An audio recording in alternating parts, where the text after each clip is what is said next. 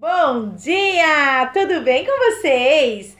A Proedileuza hoje trouxe uma atividade muito bacana. Nós vamos trabalhar o Dia da Árvore. E para esse dia eu trouxe uma atividade muito especial. Nós vamos trabalhar com as nossas mãozinhas. Vamos desenhar as nossas mãos para fazer uma árvore bem bonita? Então vamos lá para o que nós vamos utilizar. Nós vamos utilizar uma folha de sulfite nós vamos utilizar lápis, tinta guache, olha lá, tinta guache coloridas, né?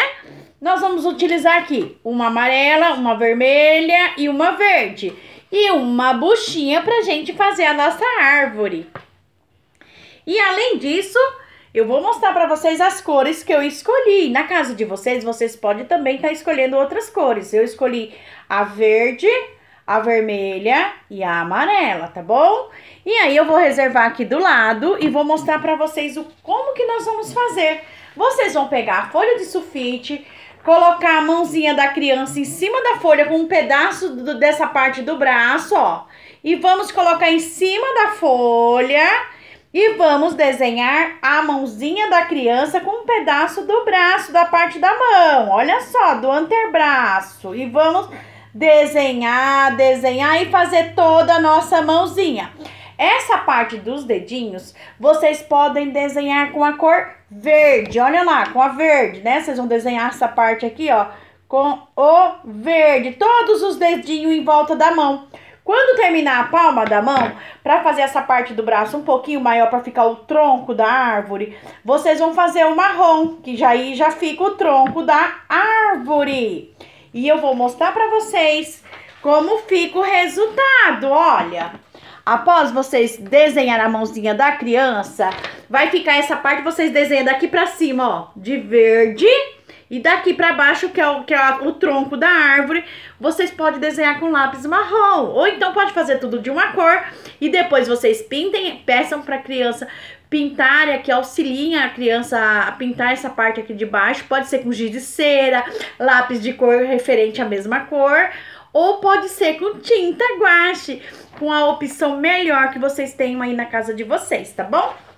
E para isso, eu já. Tro... Ah, e aí depois que vocês colar, fiz cortar, vocês vão recortar, depois que vocês fizerem lá, vocês vão recortar, colar a mãozinha na folha e vai ficar assim, gente. Olha como já parece uma árvore. Olha que coisa mais bacana. E aí, como eles são bebês, eles são pequenos, tem maninho, né, nessa faixa etária. E aí, o que é que nós vamos utilizar? A tinta. Aham. Uhum. Nós vamos pegar a tinta auxiliando eles ou deixando eles fazerem sozinhos, porque é muito importante que eles também coloquem a mão na tinta, na massa.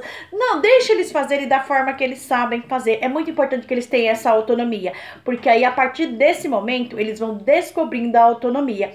E a importância de trabalhar no dia da árvore é por conta que no dia da árvore a gente vai trabalhar também o meio ambiente trabalhar a importância do teu verde no nosso dia a dia, o, o importante da no, nós cuidarmos do nosso meio ambiente. Então a gente tem que ter o verde para nós podermos respirar, para nós, o nosso ar ser melhor, para ter a qualidade de vida saudável, entre outros objetivos, tá bom? Então é muito importante que na educação infantil, desde cedo, a gente também trabalhe essa importância de trabalhar com o meio ambiente e cuidar dele para o nosso futuro, né? Os nossas futuras crianças também, tá bom? Então o que, é que nós vamos fazer? Nós vamos pegar a buchinha, a criança vai pegar a buchinha, vai passar na tinta, olha, e vai colocar, fazer o carimbo, né? Em cima das mãozinhas, olha, dos dedinhos. Olha que bacana vai ficar a nossa árvore. Então vamos lá? Eu vou mostrar para vocês como vai ficar esse, essa atividade muito bacana. E aí, gente, olha, é só usar a imaginação e a criatividade com a criança. Então, é uma atividade que vai deixar eles felizes e vocês vão ver o resultado, como fica. É só deixar eles pegarem, misturar as três cores, né, que vai estar numa bandeja. Eu coloquei numa bandeja, é importante que vocês também coloquem a tinta numa bandeja, num lugar espaçoso, para que a criança consiga é, ter essa possibilidade de chegar até a tinta para conseguir passar. Pode ser numa folha, num pedaço de, de papelão, qualquer lugar, desde que eles consigam ter essa facilidade para ter o acesso para conseguir passar em cima da folha. Depois que vocês acabarem de pintar, olha o resultado da nossa árvore, gente! Olha que bacana que ficou! Maravilhosa, né? E aí vocês podem mostrar para eles que aqui é, aqui vocês pintem de marrom, tá bom? E aqui, ó, vocês podem falar para eles que é a nossa árvore, né? E aí, ó, só pegar o lápis ou giz de cera ou a tinta, a própria tinta, pintar essa parte aqui de marrom, né?